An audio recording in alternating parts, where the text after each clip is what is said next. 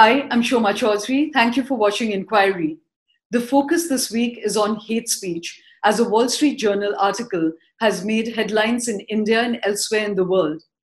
As many of you already know, what the story revealed is that a BJP MLA called Raja Singh had posted very communal and objectionable things about Muslims in Facebook.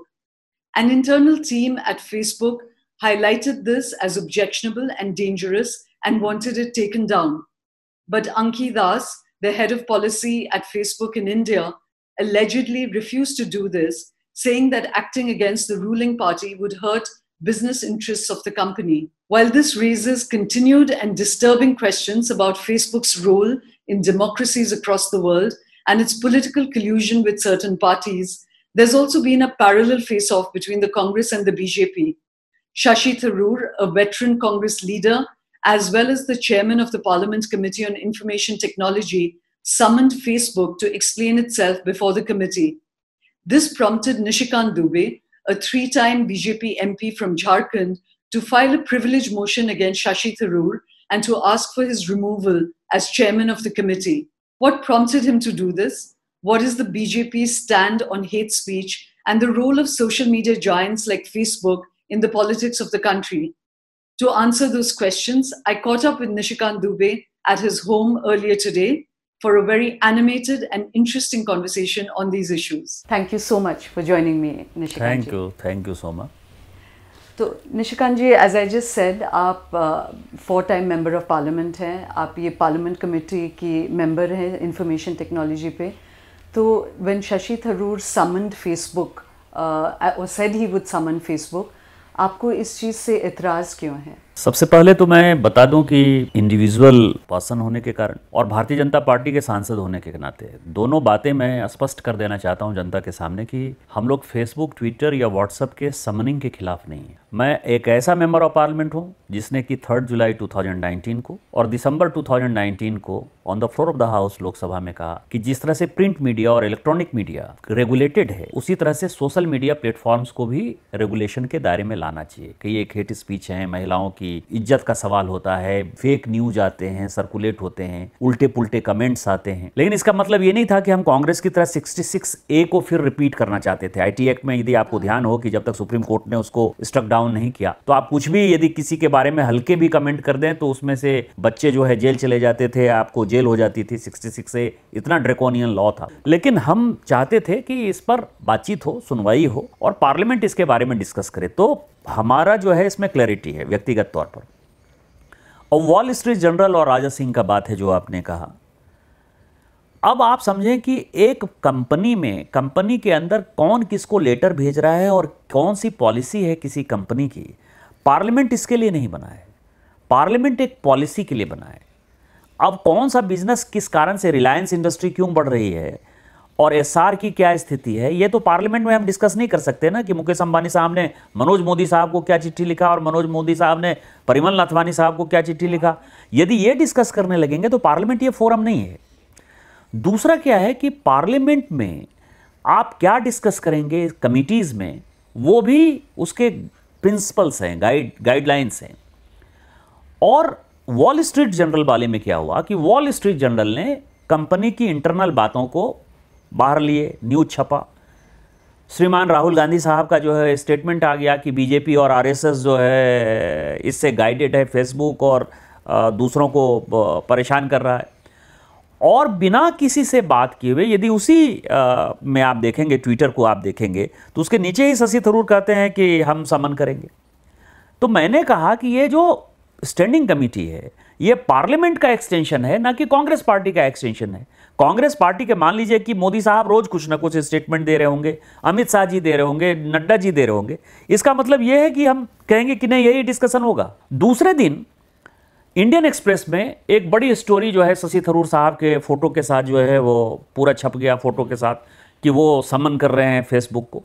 तो हमने उसी पे comment किया कि आपने बिना बातचीत किए हुए आप वॉल स्ट्रीट जर्नल में कुछ छपा। और कंपनी का इंटरनल मामला है, उसके आधार पर बिना कमिटी में बात किए हुए आप कैसे इस मुद्दे को उठा सकते हो? 269 ये कहता है कि प्राइवेट पार्टी को या स्टेट गवर्नमेंट के किसी आदमी को यदि आपको समन करना है तो सम्मान जो है वो सेक्रेटरी जनरल करता है और उसके लिए स्पीकर के परमिशन की आवश्यकता है। और आपने जो है सुओ मोटो जो है, स्टेटमेंट दे दिया।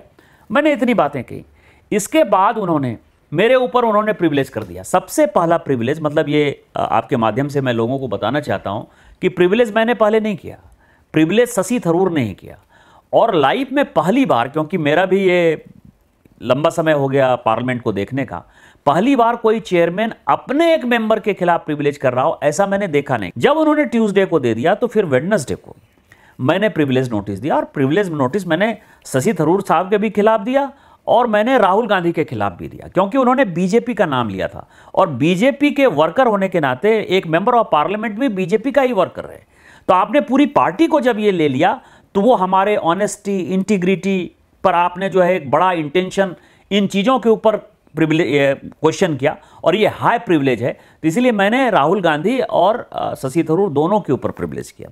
शशि थरूर साहब का जब प्रिविलेज नोटिस मेरे सामने आया तो मैंने उसमें देखा उसमें उन्होंने हाउस ऑफ़ कॉमन्स की बात को कोट किया है। तो उसी में मैंने कहा कि 1978 में इसके ऊपर पार्लियामेंट में भयंकर डिस्कशन हुआ, बहुत बड़ा डिस्कशन हुआ। और आर्टिकल 105 जो है, उसको एमेंड किया पार्लियामेंट ने। मतलब आप समझिए, संविधान संशोधन हुआ आर्टिकल 1053 उसमें क्लाउज जोड़ा गया। और उस दिन से 1979 में ये नोटिफाई हुआ कि कोई भी पार्लियामेंट के रिगार्डिंग कोई बात है इस देश के बात है तो इस देश की सॉवरेनिटी सबसे बड़ी है। इस देश का पार्लियामेंट अपने कॉन्स्टिट्यूशन से चलता है, अपने लॉ से चलता है और लोकसभा और राज्यसभा के स्पीकर और चेयरमैन के रूलिंग से चलता है। इसलिए फ्यूचर में इन द फ्यूचर आप किसी भी देश के, किसी भी पार्लियामेंट के, किसी भी कानून को कहीं भी कोर्ट नहीं करेंगे। उसी के ऊपर मैंने कहा कि स्पेंसेरियन एक्सेंट से, अंग्रेज़ी बोल लेने से आप पार्लियामेंट की डिग्निटी को खत्म नहीं कर सकते हैं। आपको नियम कानून के बारे में नहीं पता होगा। लोगों के लिए एलिट क्लास के लिए शशि थरूर साहब बड़े होंगे, पढ़े लिखे होंगे, मुझे उनकी विद्वता, क्षमता, योग्यता पर कोई शक नहीं है। लेकिन जहाँ तक पार्लियामेंट्री प्रोसीडिंग्स का सवाल है इथिक्स का सवाल है रूल्स रेगुलेशन का सवाल है, मुझे लगता है कि एज चेयरमैन वो सारे चीज़ों को जो है पार कर रहे हैं और इस कारण से ये डिस्प्यूट चल रहा है। ठीक है तो अभी फ़िलहाल मैं इस पर ज़्यादा डीप नहीं जा रही हूँ, क्योंकि ये टेक्निकलिटीज़ है। दिलचस्प की बात ये है कि आपकी नज़र में जो बात कहा गया है टी राजा सिंह से, आपकी व्यक्तिगत नज़र में ये हेट स्पीच है कि नहीं? टी राजा सिंह ने उसके ऊपर एक्सप्लेनेशन दिया है। कहा कि वो उनके पेज पर नहीं है। कोई फ़ैन पेज क्रिएट किया हुआ है और उसमें ये चीज़ें हैं। मतलब मैं उनकी बातें कह रहा हूँ। तो जब वो खुद ही इन चीज़ों को एक्सप्लेन कर रहे हैं कि उनके ऊपर नहीं है तो उसके ऊपर फिर मेरा टिप्पणी करना बहुत ज़्यादा उचित नहीं होगा। और दूसरी जानकारी दे दूँ कि फेसबुक ने इस साल जो है 700 भारतीय जनता पार्टी के नेता के या कार्यकर्ता के जो है स्पीच को हटाया है। मैं आपको बताऊँ, मैं जीडीपी पर बोल गया, पूरे फेसबुक में ट्विटर में जो है मैं ट्रॉल हो गया। जबकि जीडीपी में मैंने अमर्त सेन की रिपोर्ट को कोट किया था। मैंने जो राष्ट्रपति सरकोजी हैं, उनकी जो कमेटी थी, उसमें तीन तीन नोबेल प्राइज विनर इकोनॉमिस्ट थे। उन्होंने कहा कि जीडीपी के बदले जो है, कोई दूसरी चीज़ें अपने को देखनी चाहिए। जीडीपी बहुत पुरानी हो गई। मैं उस रिपोर्ट को कोट कर रहा था, लेकिन आज भी यदि आप देखेंगे तो फेसबुक, ट्विटर पर जब मेरा नाम आने लगेगा, कहा ये जीडीपी के देवता हैं, ज्ञानी हैं तो मैं क्या करूँगा? वो तो इंटरेस्टिंग बात है, अभी will get sidetrack but yes I agree with you Joseph Stiglitz Nobel prize winning economist है अमर्त्य सेन जी थे उस रिपोर्ट में। जी जी। और वो बहुत दिन से कह रहे हैं कि the GDP is not a good measure of the economy but it's interesting that अब जब जीडीपी नीचे जा रहा है तो आप ये रिपोर्ट कोट कर रहे थे। और बाकी जब आपकी गवर्नमेंट मोदी जी क्लेम करने चाह रहे कि बहुत अच्छा इकोनॉमी है तो जीडीपी का नंबर्स बदलते हैं उसको बढ़ाते हैं। तो I think the the criticism of you वो जब आपको सूट कर रहे हैं तो आप कह रहे हैं G D P is not important और जब सूट uh, करते हैं तो हम जी डी पी को सबसे इंपॉर्टेंट मेजर बनाते हैं.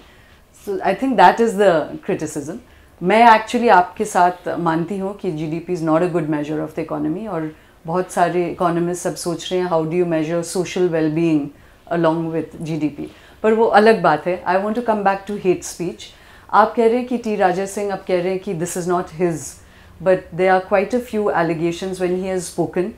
There are other BJP members, Anand Krishna Hegde, uh, you know, who has also talked about Corona Jihad. The uh, UP uh, Chief Minister Yogi Adityanath, he has said that as long as there's Islam, there will be terrorism. और hate speech काफ़ी होता है आप भी इसको deny नहीं करेंगे आपका पोजीशन क्या है आपने नाम लिया तो बीजेपी का मैं एमपी था आपने नाम लिया आपने ओवैसी का नाम नहीं लिया उसके भाई अकरबुद्दीन का नाम नहीं लिया। जावेद साहब ही आप समझिए किस तरह की बातें करते हैं, आमिर खान किस तरह की बातें करते हैं। ये देश जो है, उनको देश ने इतना कुछ दिया। इसके बाद वो किस तरह की बातें करते हैं? सीए का जो प्रोटेस्ट होने लगा, आप ये समझिए कि सीए का प्रोटेस्ट उसमें किस तरह से पूरे देश ने, किसी ने तो उस पर क्वेश्चन नहीं उठाया कि ये हेट स्पीच है। अब आप समझिए कि सीए कौन सी चीज़ थी? नहीं, मैं आपको सीए पे आती हूँ। आप पहले मेरे बात पे थोड़ा अगर, आप दो चीज़ हैं। You are saying Aamir Khan Javed साहब Akbaruddin Owaisi is a different matter when he said कि आप पुलिस को हटाइए पंद्रह मिनट के लिए और हम दिखाते हैं। That is absolute incitement to violence और शायद उस पर बहुत चर्चा हुई है। If I am not mistaken F I R भी हुई है। So that is a separate matter पर आमिर खान जावेद साहब टू हैव अ व्यू कि we are disturbed about the violence in the country that's not hate speech sir पर मैं मानती हूँ एक सेकंड के लिए अगर रहने लायक है या नहीं है? वो भी मतलब वो आ, आ, आप ये समझे ये कंट्री रहने लायक है या नहीं है? ये आपको लगता नहीं कि ये कंट्री के खिलाफ जो है एक माहौल है अरुंधति राय इस, इस तरह की उल्टा पुल्टा स्पीच होता क्या है कि आप जो है सेलेक्टिव होते हैं चीज़ों के बारे में? न्यूटन ने एक बड़ी अच्छी थ्योरी दी, थर्ड लॉ, कि प्रत्येक क्रिया के बराबर और विपरीत प्रतिक्रिया होती है। आप कुछ भी बोलेंगे तो उसके खिलाफ प्रतिक्रिया होगी ही होगी। जो कोई भी है, मैं ये कहता हूँ कि ये देश जो है, इसमें प्राइम मिनिस्टर ने कई एक बार कहा है, और उन्होंने फोल्डेड हैंड से कहा है।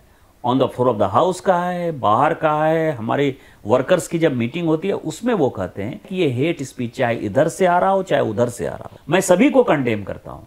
नहीं, Nishikant ji forgive me I do want to press you on a few things because I think ये बहुत ही महत्वपूर्ण बात है कि एक मिनट के लिए अगर हम औरों को ना देखें, आप अपने के लिए तो रिस्पॉन्सिबिलिटी लीजिए, अपने पार्टी के लिए रिस्पॉन्सिबिलिटी लीजिए तो आप औरों पे उंगली सेकंड उठाइए। पहले मैं आपको अपने पार्टी लोगों के बारे में मैं पूछ रही हूँ। Will come to the others I have no problem discussing then मैं आपको सिर्फ़ पूछ रही हूँ कि जब नारा लगे थे अभी सी ए प्रोटेस्ट में गोली मारो सालों को। आपको लगता है कि ये फ्री स्पीच है, कि ये ऐसे बात ही होनी चाहिए? ये तो आपकी बस कोई नीचे वाले कार्यकर्ता भी नहीं, बहुत जाने माने मिनिस्टर अनुराग ठाकुर, कपिल मिश्रा, बहुत सारे बीजेपी प्रोसेशंस में ये नारा खुल के बोले जा रहे थे। तो मैं बस आपसे ये साफ़ पूछ रही हूँ, औरों पे हम आएँगे। आप अपनी देखिए तो आपको ये सही लगता है कि नहीं? मैंने आपको कहा कि जो हमारे सबसे बड़े नेता, सर्वमान्य नेता और इस देश के प्रधानमंत्री हैं, उन्होंने पर्सनल मीटिंग हो, पार्टी की मीटिंग हो, फ्लोर ऑफ़ द हाउस हो या बाहर हो हमेशा हमेशा कहा है कि हम इस चीज़ के खिलाफ हैं, इस चीज़ को रोकना चाहिए और ये चीज़ कहीं से उचित नहीं है कंट्री के लिए। अब आप जो कपिल मिश्रा या अनुराग ठाकुर जी की बातों पर आते हैं, मैं आपको बताऊँ कि इतने सेलेक्टिव लोग हैं। वो किस कॉन्टेक्स्ट में कैसे बोला गया? उनकी पूरी स्पीच क्या है? इस पर मीडिया जाती ही नहीं। तो मैं आपको अभी पूरा प्लेटफॉर्म दे रही हूँ बोलने के लिए कि, मैं किसी कॉन्टेक्स्ट में किसी कॉन्टेक्स्ट में कॉन्टेक्स्ट है पूरा आप अनुराग ठाकुर जी का। मैं एक चीज़ पूछने चाह रही हूँ। आप ज़रूर बोलिए उसके बाद। मैं जस्ट एक चीज़ पूछने चाह रही हूँ कि कोई नेता होने के नाते आप इस संविधान जो आप अभी बात कर रहे हैं पार्लियामेंट्री प्रोसीडियर्स है कॉन्स्टिट्यूशन है हमारी कॉन्स्टिट्यूशन फ्री स्पीच ज़रूर देते हैं पर इंसाइटमेंट टू वायलेंस नहीं देते हैं।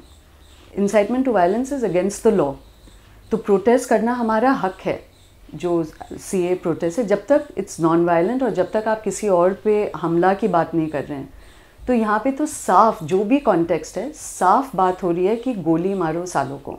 ये तो साफ़ बात है। नहीं नहीं। इसलिए मैं आपको एक बार और पूछती हूँ कि इसमें अगर आप वॉट अबाउट्री ना करें जैसे कि आप ओवैसी साहब की बात उठाएँ, आपको पता है जिस वो प्लेटफॉर्म पे एक एक that young girl she was saying actually she was saying Bharat जिंदाबाद, पाकिस्तान जिंदाबाद, सब देशों में भाई, भाईचारा होनी चाहिए। But the moment she said Pakistan जिंदाबाद आपको याद होगा, ओवैसी साहब ने टर्न अराउंड करके उनको एकदम प्लेटफॉर्म से हटा दिया। तो उसमें कोई वॉट अबाउट्री नहीं थी। अब बेंगलोर में जो राइट्स हुई है मुस्लिम मॉब कोई वॉट अबाउट्री नहीं है। सब लोग उसको कंडेम किया है। ये नहीं कि हाँ ऐसे होता है एक्शन रिएक्शन होता है प्रॉफिट पे कुछ इल्ज़ाम लगाया। मुझे सोनिया मैं जस्ट अभी मैं सोनिया जी उनके- उनके, मैं तो उनके मैं- ना? मैं मुस्लिम लीडर्स की बात कर रही हूँ और लिबरल्स की बात कर रही हूँ। सब लोग इसको कंडेम किया है। ये भी नहीं कि प्रॉफिट के बारे में क्या कहा गया था वगैरह वगैरह। सब लोग कंडेम किए हैं। इसलिए मैं वापस आप पे आती हूँ कि जो चीज़ गलत है वो गलत है। और वो करे ना ना करे, मैं आज आपसे पूछ रही हूँ कि आपको लगता है गोली मारो सालों को is it worthy of a minister to see it in any context मैंने कहा कि एनी कॉन्टेक्स्ट नहीं है, इसके बारे में दिल्ली पुलिस पूरी जाँच कर चुकी है। चाहे कपिल मिश्रा और मुझे लगता है कि ये एग्ज़ाम्पल गलत हो गया, क्योंकि दिल्ली पुलिस ने जितने चार्जशीट फ़ाइल किए हैं और जितने इन्वेस्टिगेशन किए हैं, उसमें दोनों को बरी किया है। आपके पास पूरे स्पीच को देखने का हमने और आपने तो देखा नहीं। और दोनों ने क्लीन चीट पूरी की पूरी दिल्ली पुलिस ने दी है कि किसी भी तरह की कोई कंट्रोवर्शियल स्टेटमेंट जो है वो अनुराग ठाकुर ने नहीं दी है, कपिल मिश्रा ने। तो आपको तो पुलिस के ऊपर भरोसा करना पड़ेगा ना। और पूरी की पूरा, मैं आपको बताऊँ, कोर्ट में भी है। ये मामला सब जुडिस है। ये मामला सब जुडिस है और कोर्ट भी इन चीज़ों को देख रहा है। तो मुझे लगता है कि आज वो बेहतर सिचुएशन नहीं है। और एक मेंबर ऑफ़ पार्लियामेंट के नाते अभी तुरंत मैंने कहा कि जो मामले सब जुडिस हैं उसके बारे में हम डिस्कशन नहीं करते। Course you can question judgements you question acts of parliament इसी चीज़ से तो बदलाव आती है। आप होमोसेक्सुअल एक्ट पे लीजिए। It was an act it was law but you question the law and that's how things change so इसमें मैं आप- पे नहीं शामिल हूँ कि बस पुलिस कुछ कह रहा है तो हम इसको मान जाए। होमोसेक्सुअलिटी की बात कही क्योंकि आपकी बात पर यदि मैं कुछ नहीं बोलूँ। मैं आज भी वो जो लॉ खत्म हो गया मैं आज भी उसके खिलाफ हूँ। और मैं आपको बताऊँ कि शशि थरूर जब जब पार्लियामेंट में ये प्राइवेट मेंबर बिल लाना चाहते थे तब तब मैं भारतीय जनता पार्टी के एमपी के नाते उसको गिरा देता था। मैंने बिल ही इंट्रोड्यूस नहीं होने दिया। तो ये तो सुप्रीम- आप अपने आप को प्रूव कर रहे हैं कि ये ये हमारी व्यक्तिगत ये- होती वही मैं कर रहा हूँ कि सुप्रीम कोर्ट के जजमेंट आ गए लेकिन अभी भी मैं आपको बताऊँ कि वो वैलिड नहीं है। दो चीज़ें। 66 ए और ये जो होमोसेक्सुअलिटी वाला है ये पार्लियामेंट को ही ये कानून बनाना पड़ेगा। सुप्रीम कोर्ट कानून बनाने के लिए नहीं है। सुप्रीम कोर्ट ये सजेशन देता है पार्लियामेंट को और आज भी ये चीज़ें पार्लियामेंट के पास जो है वो लंबित होनी चाहिए अधिकार जो है वही होना चाहिए। लेकिन सबजुडिस जो मामले हैं क्योंकि आपने जो बातें कही इसके ऊपर आदेश आ चुका है। हमने जिसके ऊपर किया डिस्कशन हो चुका है। और आप यदि जज के ऊपर कमेंट करने कहेंगे या जजमेंट के ऊपर कर, कमेंट करने कहेंगे तो हो सकता है कि कल प्रशांत भूषण की तरह जो है मेरे ऊपर भी कार्रवाई हो जाए। मैं आपको मैं इतना तो मुझे भी आता है कि आप किसी जजमेंट पे आप चर्चा कर सकते हैं आप। किसी पे इल्ज़ाम नहीं लगा नहीं, सकते। हैं जजमेंट पे ज़रूर जजमेंट पे तो डिस्कशन होती है। जजमेंट पर नहीं कर सकते। मैं आपको बताऊँ कि हमने जो है नेशनल जुडिशियल कमीशन जो है बनाने की बात कही। एक कानून जो है हमने सर्वसम्मति से पास करके दिया उसको स्ट्रक डाउन कर दिया। जबकि 368 जो आर्टिकल है कॉन्स्टिट्यूशन का वो मुझे ताकत देता है मुझे अधिकार देता है कि मैं किसी भी कानून को बना सकता हूँ। लेकिन सुप्रीम कोर्ट ने कहा कि नहीं, ये कानून नहीं बना सकते। जो अपॉइंटमेंट है जुडिशियल अपॉइंटमेंट कि हाई कोर्ट में जज कौन होगा, सुप्रीम कोर्ट में जज होगा, वो कह रहा है कि आपका ये अधिकार क्षेत्र ही नहीं है। तो हमने क्या किया? कुछ नहीं। चलिए, पर अभी मैं वापस आती हूँ, क्योंकि हमारी फोकस है हेट स्पीच और सोशल मीडिया पे। तो अभी आप एक इक्विवेलेंस बना रहे थे कि जो देश के बारे में शायद डिस्टर्ब्ड हैं वैल्यू सिस्टम पे डिस्टर्ब्ड हैं। अभी आपने कहा कि होमोसेक्सुअलिटी का जो फ्रीडम मिला है, आपको इसमें इतराज़ है। तो ये आपकी ओपिनियन है, आप इस चीज़ से डिस्टर्ब्ड हैं।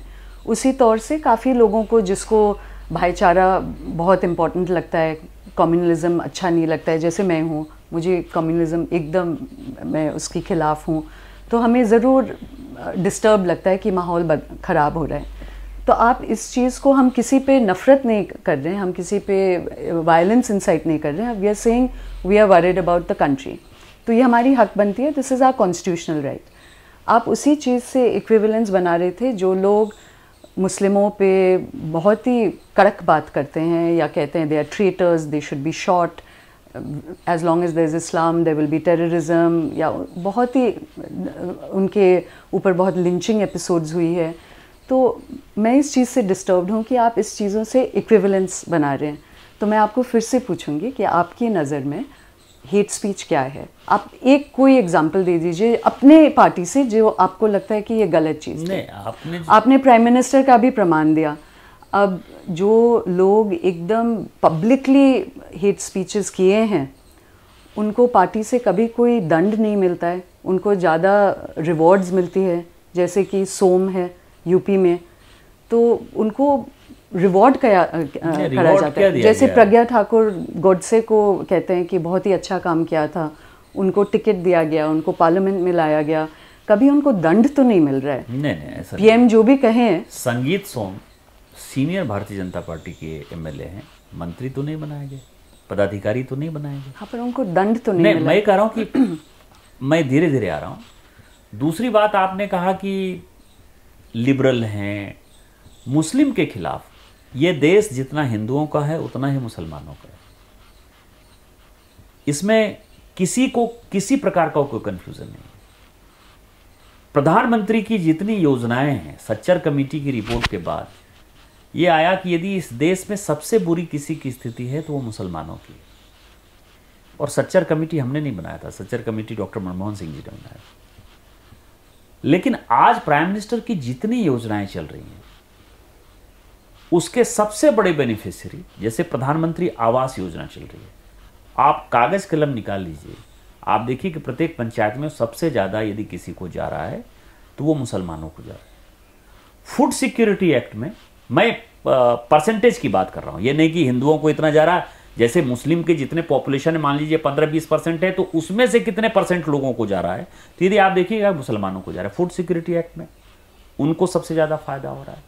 यदि ये अभी गैस चूल्हा देने का, उज्ज्वला योजना का बात आया, आप किसी से पता कर लीजिए कि मैक्सिमम बेनिफिशियरी मुसलमान हैं या नहीं।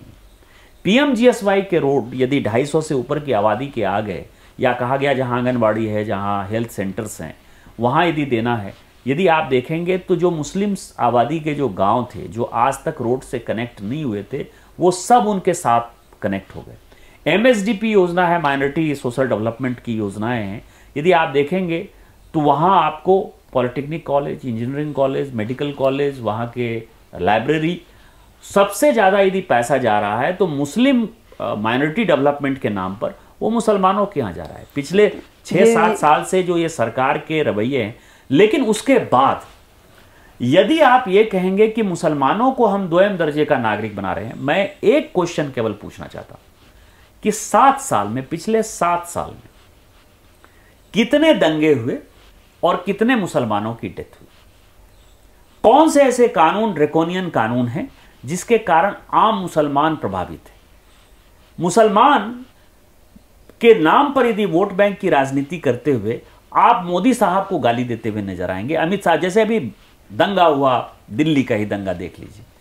आप ये देखिए कि यदि मुसलमानों के ऊपर एफआईआर हुआ है इन्वेस्टिगेशन चल रहा है तो हिंदुओं के ऊपर एफआईआर नहीं हुआ हिंदू तो ज़्यादा जेल गए। ये मैं मानती हूँ निशिकांत जी एफ़ हुई है, पर इस पर ज़रूर प्रॉब्लम जोन है, क्योंकि जो सी पे भी हम लोग आएँगे, पर जो एंटी सी प्रोटेस्ट थी वो ज़्यादातर नॉन वायलेंट थी। लोग कॉन्स्टिट्यूशन को ही डिफेंस में बोल रहे थे और हम सी ए का मेरिट्स पे भी हम आएँगे।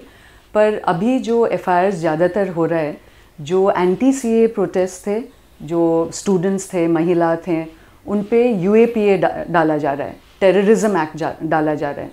और बाकी जो एफ़ है हिंदूज़ में, मैं पूरा इसमें जाँच नहीं की हूँ, इसलिए एकदम से मैं नहीं बोल पाऊँगी।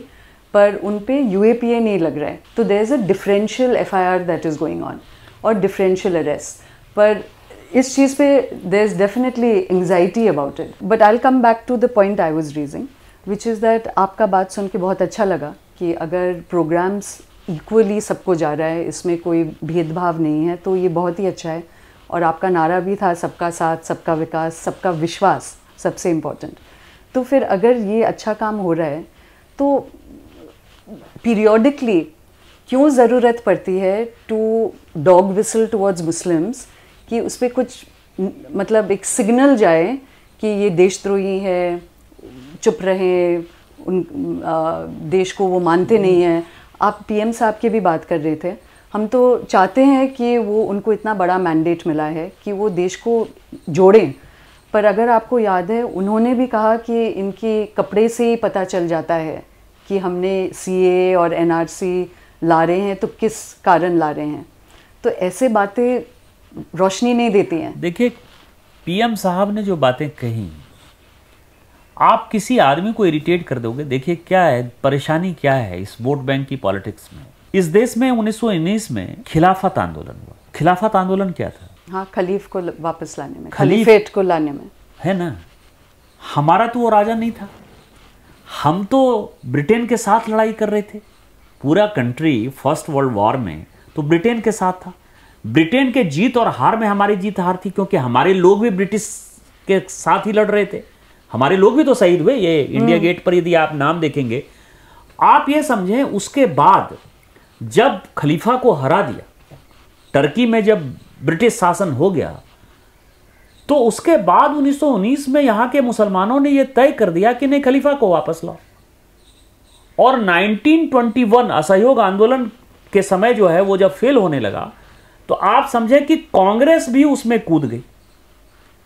तो ये देश का जो इतिहास है, वो इतिहास दोहराया नहीं जाए, जैसे मैं जिस राज्य से आता हूँ, उस राज्य का विभाजन हुआ। आज आप समझिए कि मैं जहाँ से सांसद हूँ इस राज्य का चौथी पांचवी बार विभाजन हो गया। 1905 में, जब 1905 में ईस्ट बंगाल और वेस्ट वेस्ट बंगाल बन रहा था तो जितने लोग थे बड़े नेता, बंकिम चंद्र चटर्जी से लेके जितने बड़े नेता थे, इवन रविंद्रनाथ टैगोर तक सबने कहा कि ये पार्टीशन की नींव रखी जा रही है। ये काम मत करो। लेकिन सबों ने कहा कि नहीं सेकुलरिज्म के नाम पर आप तो सीधा एकदम मुस्लिम को डेवलप भी नहीं होने देना चाहते हैं। इसी तरह की ताकतें थी। और यही हुआ कि 1906 में पहली बार मुस्लिम लीग उसी ढाका में बना।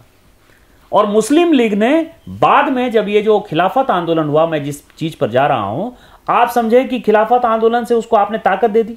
1937 में उसी के साथ मिलकर 36 37 में कांग्रेस ने उसके साथ चुनाव लड़ा। और 40 में क्या हुआ? 1940 में उसी मुस्लिम लीग ने डायरेक्ट फ्रंट खोल दिया कि मुझे आज़ादी चाहिए, मुझे एक अलग कंट्री चाहिए। तो जब ये माहौल बनता है ना तो जो नेतृत्व करता होता है, उसको समझाने के लिए बहुत कुछ बोलने की आवश्यकता होती है। और सीए के बारे में जो आपने बोला सीए में कौन सी गलत बात है? सीए जो मुस्लिम कंट्री है, जो इस्लामिक कंट्री है, चाहे वो पाकिस्तान है, चाहे अफ़गानिस्तान है, चाहे वो बांग्लादेश है, ये सब तो मुस्लिम कंट्री ने इस्लामिक कंट्री है। उनका रिलीजन ही स्टेट का रिलीजन इस्लाम है। तो इस्लाम उनका पहला धर्म है।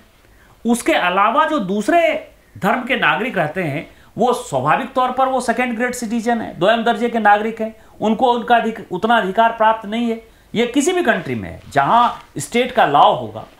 आप समझें कि हमने कहा कि उसके अलावा मुस्लिम को छोड़कर इन कंट्रीज़ में जो कोई भी दूसरे धर्म के लोग हैं, वो हमारे यहाँ यदि आएँगे तो हम उनको नागरिकता देंगे और उसका कट ऑफ़ डेट 2014 रखा। ये नहीं, हम अपने शासन के पहले जो लोग यहाँ आए हुए हैं आप यदि जम्मू जाएँगे तो जम्मू में जो रिफ्यूजी आए हैं उनको नागरिकता नहीं है। वो वो वोट देने की स्थिति में नहीं है। इसमें मैं तो इसमें जब प्रोटेस्ट आप करते हैं तो ये प्रोटेस्ट खलीफा की तरह का प्रोटेस्ट है? नहीं खिलाफत आंदोलन की तरह का प्रोटेस्ट मैं इसमें कुछ स्पष्ट कर सकती हूँ। आप खिलाफत की बात की ज़रूर वो एक मिस्टेक था। तब आंदोलन के लोगों को जोड़ना जो भी उनकी उस जनरेशन की जो लीडर्स थे उनकी जो कंस्ट्रेंट्स थी या उनकी जो सोच थी, वो सब एक ट्रांजैक्शनल एक तो पर बहुत लोग अब हिस्टोरियंस मानते हैं कि that was a kind of a mistake क्योंकि टर्की में भी एक मॉडर्निस्ट फोर्स थी मुस्ताफ़ा कमाल पाशा उनके खिलाफ, खिलाफत मूवमेंट चली। तो हम मानते हैं कि हिस्ट्री में बहुत मिस्टेक्स होती है, पर उसकी असर अभी ज़रूरत नहीं है कि हम उसी लेंस से हम अपने कंटेम्प्रेरी मुस्लिम्स को देखें। क्योंकि बहुत साल बीत चुकी है, अब अलग लीडर्स हैं। तो मैं अभी सी ए पे आ रही हूँ, मैं हिस्ट्री पे नहीं जा रही हूँ। सी ए पे ये चीज़ मैं आपके सामने रखने चाहती हूँ कि जो इंटेलिजेंस ब्यूरो की रिपोर्ट थी पार्लियामेंट में, कि the number of people who need citizenship who were refugees and who have not got citizenship there were twenty four thousand Hindus five thousand eight hundred six fifty this is the number Nishikant ji अगर आपको इनको citizenship देनी थी तो ये एक administrative gesture है। आप इनको फास्ट ट्रैक कर दीजिए, कोई प्रॉब्लम नहीं है। मैं उसी चीज़ पे वापस आती हूँ। आप एक सिग्नल कर रहे हैं। आप सिग्नल करें कि पहली बात पार्लियामेंट्री और कॉन्स्टिट्यूशनल वैल्यूज़ से हमारी सिटीजनशिप रिलीजन बेस्ड नहीं है। ये तो हमारी बेसिक स्ट्रक्चर ऑफ़ कॉन्स्टिट्यूशन है। It's not a religion based citizenship आप किसी को भी जो पीड़ित हैं ज़रूर दीजिए उनको फास्ट ट्रैक कीजिए बट द नंबर्स वो so small thirty three thousand people आप बिना किसी के नज़र आने के सामने भी आप इनको दे सकते नहीं, थे। वन पॉइंट मैं जस्ट थोड़ी आप पे बात रख रही हूँ। सेकेंड पॉइंट वॉज़ आपने स्पेसिफिकली कहा कि मुस्लिम को छोड़ के जो भी बाकी रिलीजन्स है उनको हम देंगे। तो वो चोट तो पहुंचेगी लोगों को। आप कह सकते थे कि जो भी वहाँ पे पीड़ित है वो आ सकते हैं। अगर आपकी सोच है कि इस्लामिक कंट्रीज़ में मुस्लिम्स को कोई ओप्रेशन नहीं है तो वो नहीं आएँगे। ये सब चीज़ सिंबॉलिक भी होती है निशिकांत जी। आप तो पॉलिटिक्स में आप समझेंगे। और बस मैं बात ख़त्म करती हूँ। अब दूसरी चीज़ है ये सीए शायद भी किसी को उतना नहीं डराता। जब तक आपने एनआरसी की बात की और ये अमित शाह जी ने बहुत बार कर चुके हैं कि ये क्रोनोलॉजी देखिए। पहले हम ये लाएँगे फिर ये लाएँगे, फिर ये लाएँगे। और जो असम की अनुभव थी सब कि दे वो people who were left out फिर जब देखा कि अच्छा बहुत सारे हिंदूज भी लेफ़्ट आउट हैं तो बीजेपी ने कहा even after the supreme court order set that we will go back and redo the survey because you were shocked कि इसमें सिर्फ़ मुस्लिम्स नहीं फंसे हिंदूज भी फंसे हैं। तो आप देखिए, अगर आप प्लीज़ थोड़ा आप ऑनेस्टली देखेंगे तो ऑफ़ कोर्स पीपल वो वरिड और ये सिर्फ़ मुस्लिम्स नहीं, हम भी वरिड हैं कि हमारे देश को हो क्या रहा है। मैं आपको बताऊँ कि शायद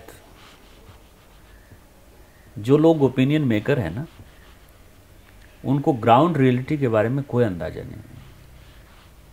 ये चौबीस हज़ार लोगों ने अप्लाई किया होगा।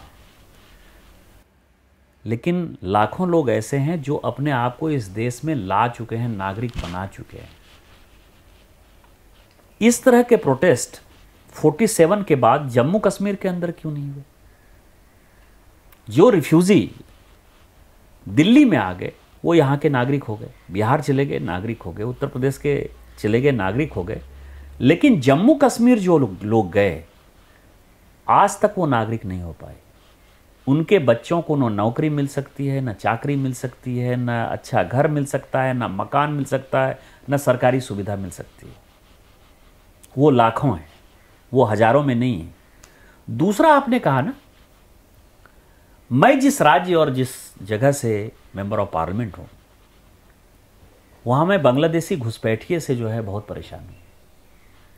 पूरी की पूरी डिमोग्राफी आप मेरा देवघर ले लीजिए, गोड्डा ले लीजिए, साहबगंज ले लीजिए, पाकुड़ ले लीजिए, भागलपुर ले लीजिए, कटिहार ले लीजिए, किशनगंज, अररिया, मालदा, कलियाचक, आप चलिए उस इलाके में।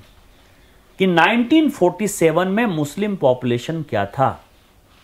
और आज मुस्लिम पॉपुलेशन क्या है? मैं 2009 में इलेक्शन लड़ने के लिए गया।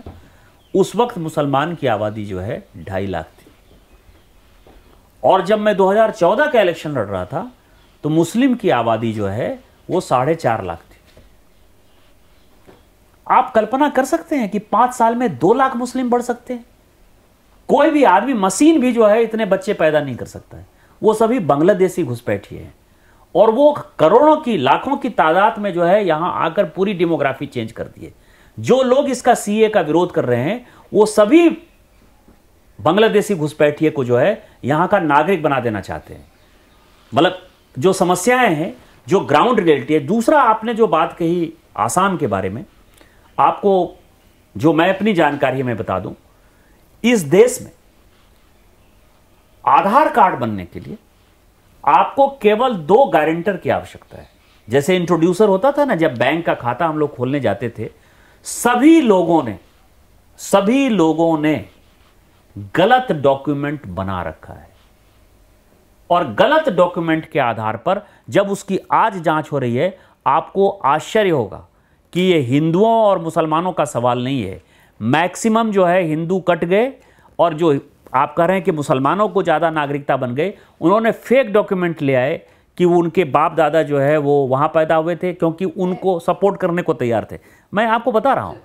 तो इस कारण से ग्राउंड रियलिटी को देखते हुए भारत सरकार ने जो फैसला किया, वो इस देश के लिए फैसला किया।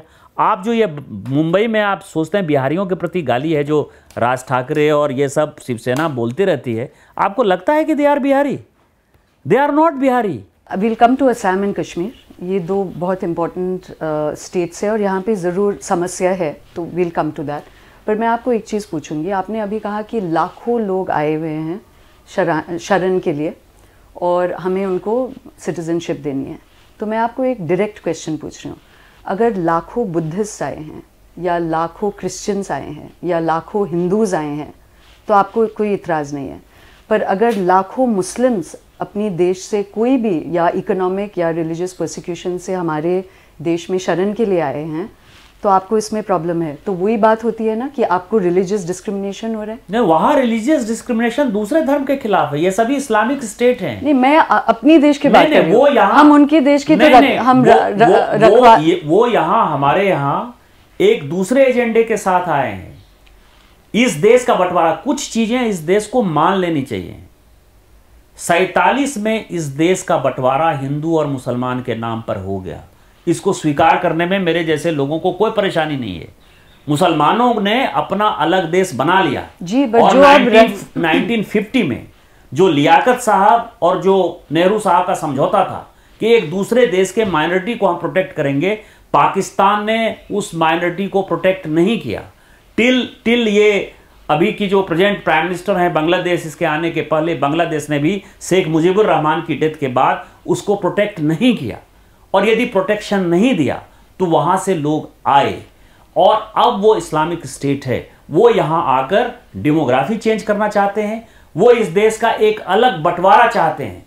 आप ये देखिए, जो अभी पाकिस्तान के शेख राशिद का जो स्टेटमेंट बराबर आ रहा है, वो क्या कह रहा है? कि मुस्लिम को छोड़कर। मुस्लिम को छोड़कर हम कहीं भी परमाणु बम गिरा देंगे। हम एक और लड़ाई लड़ेंगे। जिस तरह से वो पाकिस्तान जो है जिहाद छिड़े हुए है, जिस तरह से चीज़ें चल रही हैं, आपको नहीं लगता कि वो हमारा ड्राइवर का, कंडक्टर का, खलासी का, सिक्योरिटी गार्ड का, ये सब का जो नौकरी है, घर में काम करने वाले लोगों का, हमारे देश के लोगों का रोज़गार भी छिन रहा है और हमारे देश को तोड़ने की एक साजिश भी चल रही है। यदि आपको चलना हो तो मालदा चलिए, कालियाचक चलिए। आप हमारे इलाके में आइए। यदि आपको चेंज नहीं दिखाई देगा और यदि नहीं लगेगा कि हम जो है एक नया पाकिस्तान बनते हुए देख रहे हैं, फिर आप सीए पर क्वेश्चन करिएगा। तो निशिकांत जी, इस पर मैं आपको, मैं कह रही थी कि असम में ज़रूर एक बहुत इन्फ्लक्स हुआ है और कुछ कुछ जगह जहाँ पे जो भी उनका, मैं आपसे नहीं मानती हूँ कि इसमें कोई बड़ा सारंश है, क्योंकि बहुत ही पुअर लोग हैं और अलग अलग कारण वो आते हैं इंडिया हमारे पड़ोसी कंट्री से ज़्यादा प्रोग्रेस है यहाँ पे माहौल अच्छा है। तो लोग अपना जैसे हम विदेश जाते हैं तो we are right now so proud कि कमला हैरिस की मदर इंडियन थी। हम औरों देशों में इमिग्रेंट्स को बहुत ही अपनाते हैं। पर अपने देश में जो इमिग्रेंट्स है हम उनको आ, कहते हैं कि they have come to spoil our country और डेमोग्राफिक चेंज करने के लिए आए हैं। But maybe they are coming for their own progress पर मैं ये चीज़ आपसे पूछने चाह रही हूँ कि जहाँ असम या बिहार कुछ कुछ जगह में जहाँ इन्फ्लक्स ज़्यादा हुई है, मैंने इसको ओवेसी साहब से भी पूछा। तो उनका जो कहना था कि जहाँ प्रॉब्लम्स है तो you can improve the patrolling जो लोग आ चुके हैं, हमने असम एक्सरसाइज से देखे हैं कि it is very difficult now to tell the Indian Muslim from the Bangladeshi refugee तो आप कैसे करेंगे? आप जो आप ग्राउंड रियलिटी की बात करते रहते हैं फ्यूचर में ऑफकोर्स रोकिए। और लोग ना आए। बहुत सारे गरीब लोगों के पास बर्थ सर्टिफिकेट्स नहीं होती है। कुछ अपनी एंसेस्ट्री का प्रूविंग का पेपर्स नहीं होती है। तो इस कानून से लोगों को बहुत चोट पहुँच सकती है। तो इस एंजाइटी से ही प्रोटेस्ट निकली थी। एक प्रिंसिपल पे कि हमारी सिटीजनशिप रिलीजन बेस्ड नहीं है और दूसरी प्रैक्टिकलिटी पे, क्योंकि असम की जो एक्सपीरियंस हुई, वो तो सबको एकदम हिला दिया है। तो कुछ और तरीका निकालिए। असम और कुछ स्टेट्स में, बंगाल में भी देर इज़ अ प्रॉब्लम पर आप उसी स्टेट पे आप फोकस करके कुछ अच्छा सोल्यूशन निकालिए। आप पूरा देश को क्यों डरा रहे हो उसी चीज़ में? देखिए गोल गोल बातें बताने से नहीं होता है ना। इस देश का बंटवारा हो चुका 47 में हिंदू और मुसलमान के नाम पर। हो चुका। नहीं पर जो मुस्लिम यहाँ है वो तो देश मान्य है। नहीं नहीं वो ठीक है हम तो उसको मान ही रहे हैं उनको बराबर का नागरिक दिए हुए ना हम थोड़े इस पाकिस्तान की तरह या बांग्लादेश की तरह या अफ़गानिस्तान की तरफ़ उनको दो एम दर्जे का नागरिक बता रहे हैं। इस देश के राष्ट्रपति भी हो रहे हैं वो चीफ जस्टिस ऑफ़ इंडिया भी हो रहे हैं आर्मी में भी जा रहे हैं। कौन सा ऐसा एवेन्यू है जो कि हमने मुसलमानों के लिए नहीं छोड़ा हुआ है? मुसलमान अपने कॉम्पिटेंस के आधार पर जहाँ जाना चाहें एक दिन इस देश के प्रधानमंत्री भी हो जाएँगे कोई बहुत बड़ी बात थोड़े है। लेकिन इस देश का बंटवारा हिंदू और मुसलमान के नाम पर हो गया है। आपको उस साइड के साथ निश्चित तौर पर जाना चाहिए। दूसरा, आपने कहा ना कि वो गरीब लोग हैं। इस देश का साइबर क्राइम आज डिजिटल इंडिया की तरफ़ इस ये देश बढ़ रहा है।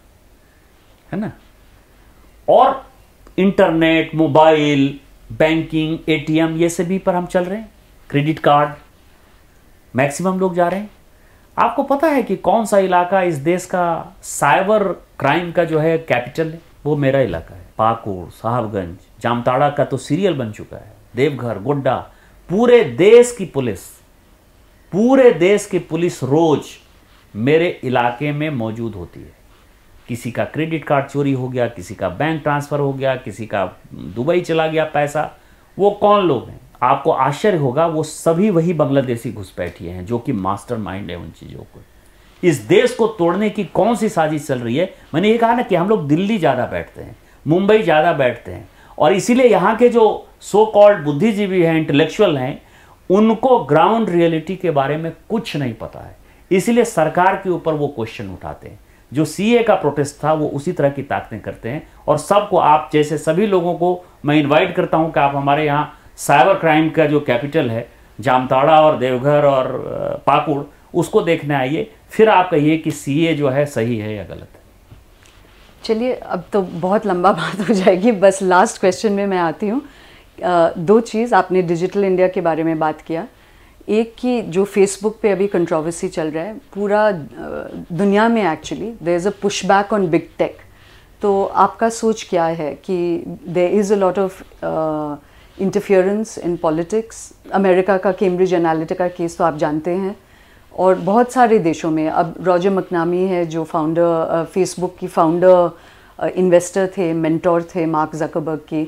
बहुत फ्लैग्स रेज़ किए हैं ब्रायन एक्टन बहुत सारे जो फेसबुक से जुड़े हुए थे, बहुत सारे लोग फ्लैग्स रेज़ किए हैं। तो आपका क्या सोच है इंडिया का डेमोक्रेसी को प्रोटेक्ट करने के लिए, ताकि कोई इंटरफियरेंस ना होए हेट स्पीच ना बढ़े? आपका क्या सोच है इसमें मैंने तो कहा ना कि जैसे प्रिंट मीडिया और इलेक्ट्रॉनिक मीडिया जो है वो रेगुलेटेड है।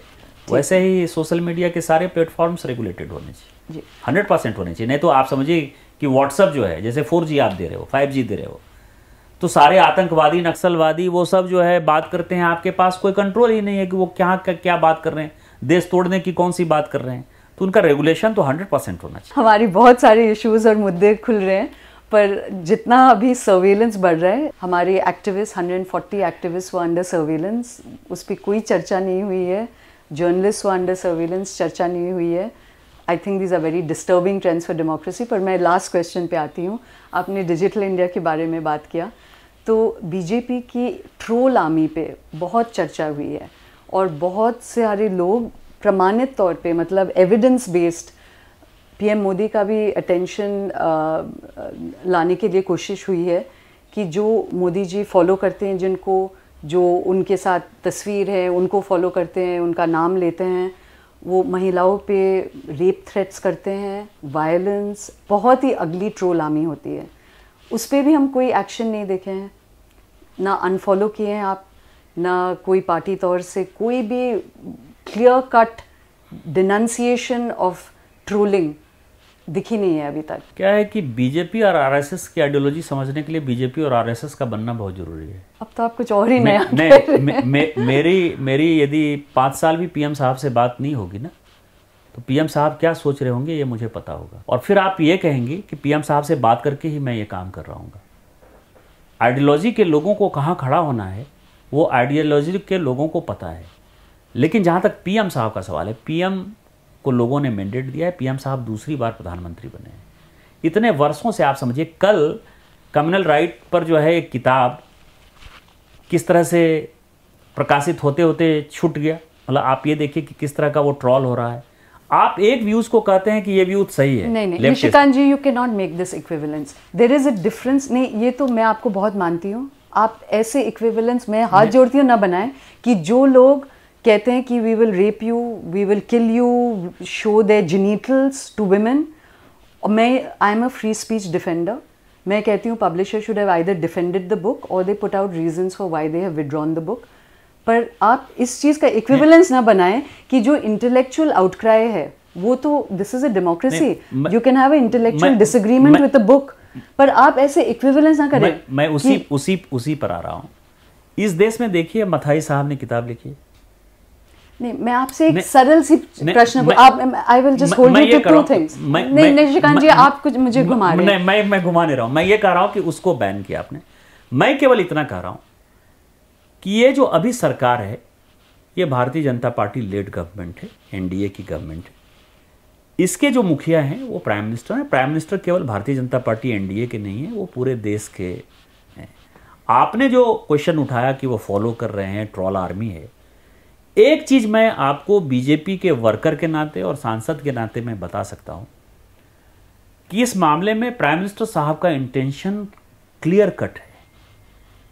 यदि वो 10 मेंबर ऑफ़ पार्लियामेंट के बीच में भी मीटिंग करते हैं, वन टू वन मीटिंग भी करते हैं, मैं आपको एक नहीं, हज़ार उदाहरण दे सकता हूँ, उसमें उनका साफ़ कहना है कि अपने को कम्युनल वायलेंस महिलाओं के खिलाफ कोई बात ट्रॉलिंग इस देश को तोड़ने वाली कोई ताकतें हैं, शक्तियाँ हैं, उनके पीछे नहीं जाना है। अपने को ये कंट्री बनाने की बात करनी है।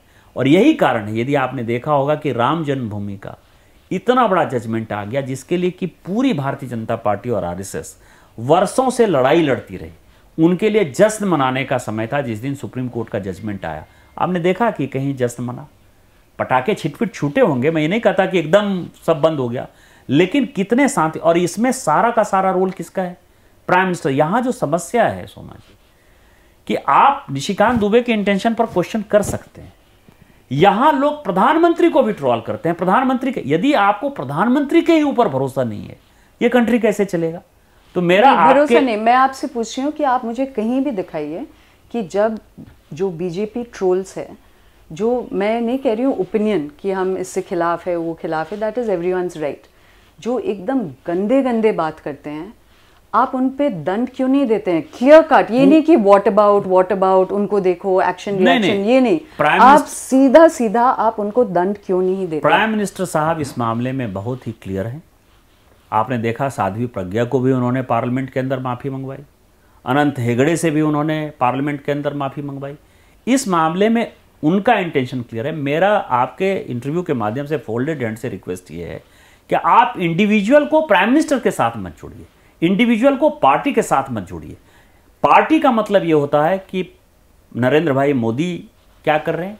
अमित शाह जी क्या कर रहे हैं? जगत प्रकाश नड्डा जी क्या कर रहे हैं? B L Santosh, Rajnath Singh ji, Nitin Gadkari ji. इसमें से यदि किसी का स्टेटमेंट और पार्टी क्या है? पार्टी का अनुशासन क्या है? मुझे बताने की आवश्यकता नहीं है। इसमें से यदि किसी का स्टेटमेंट आपको लगता है कि वायलेटिव है या वो फ्री स्पीच के खिलाफ है, या आप समझिए कि हेट वाले जो लोग हैं, उनको बढ़ावा देते हैं तो फिर क्वेश्चन आता है और मुझे लगता है कि इंटेंशन पूरा का पूरा क्लियर चलिए, मैं आपकी बात मानती हूँ, पर इसमें मैं नहीं शामिल हूँ कि sometimes inaction is an action itself और आपने कहा कि इडियोलॉजिकली उनको पूरा पता है कैसे पोजीशन होनी है।